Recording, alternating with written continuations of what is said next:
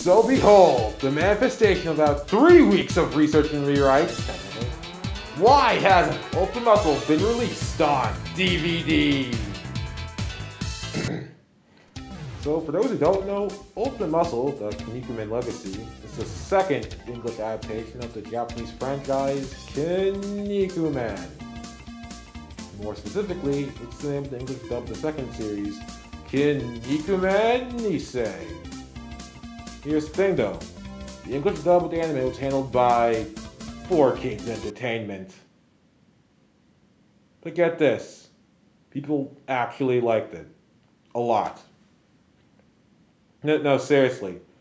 Ultimate Muscle was actually so much more popular than Kinnikuman Nisei that 4Kids put up the money for a second season when it was originally going to be cancelled.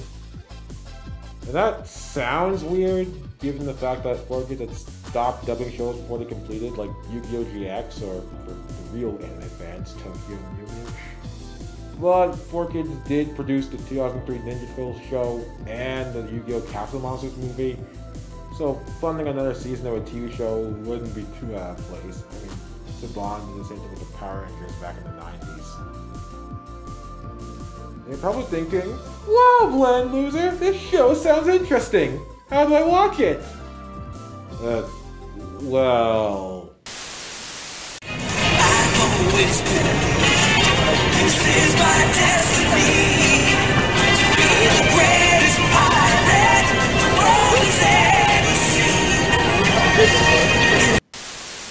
Now, if you're looking for a legit way to watch this show, then your options are very limited. The original Kinnikuman Nisei has been released on DVD, but only in Japan.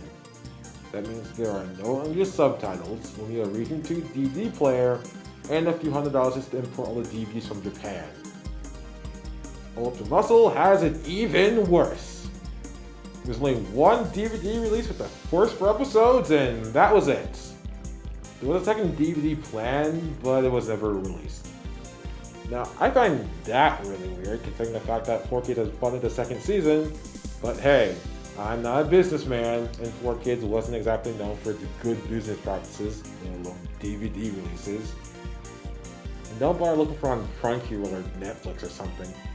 I can't find any official streaming services that have the show subbed or dubbed.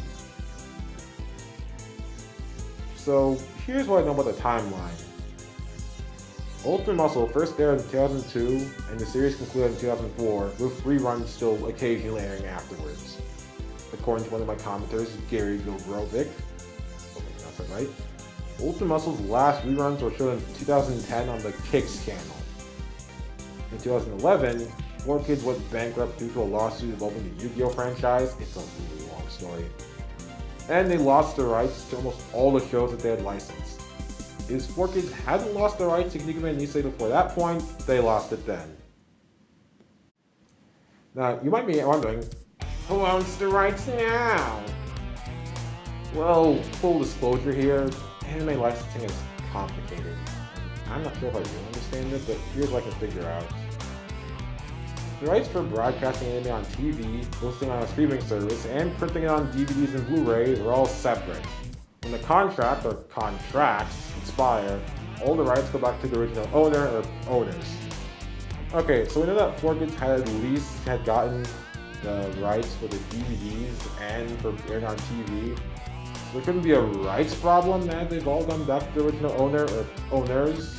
But now the new problem. Who are the original owner or owners? Toei? I mean, commenter Foxbox 100% Awesome did ask me if Toei owned the rights, and they and they do send me copyright notices from the Ultimate Muscle stuff I released. But what about Shueisha? They're the parent company of Shonen Jump and Viz Media. Overlook how at least the manga publishing rights to Kinnikuman Nisei. Did they ever say in this? What about the current incarnation of 4Kids? Konami Cross Media in New York.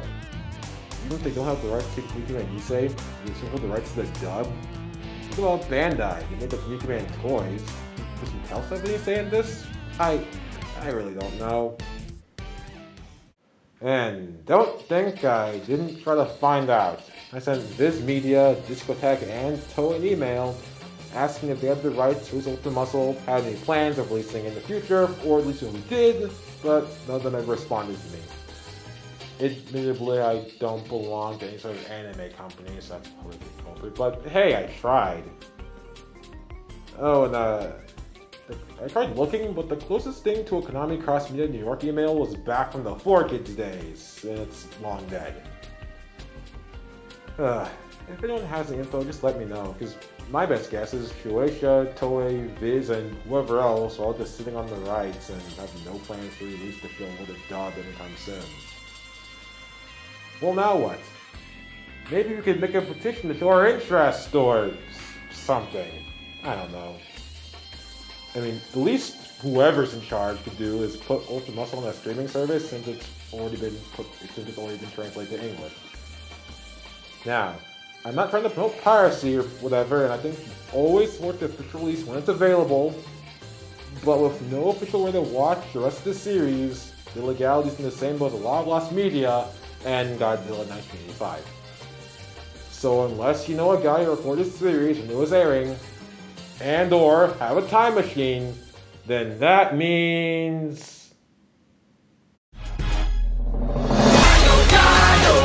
His name's always just like a samurai and a L-A-D-Y. Nami's not shy. The pirate crew coming through doing their thing with the king of the pirates. He's gonna be king. Dayo, Dayo, oh, oh, set sail for war.